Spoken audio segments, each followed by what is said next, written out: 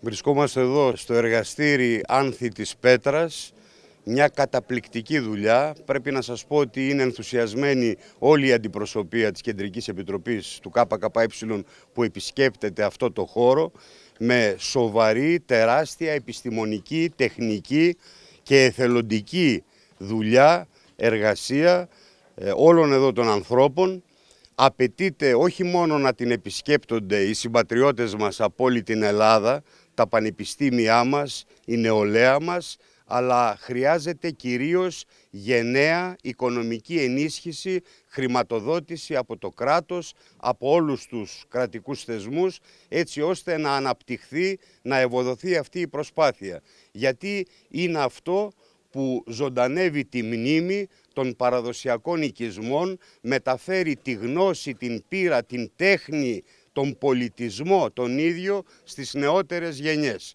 Αυτό πρέπει να το στηρίξουμε πάση θυσία. Το ΚΚΕ θα κάνει ό,τι είναι δυνατόν για να γίνει αυτό. Σας ευχαριστώ.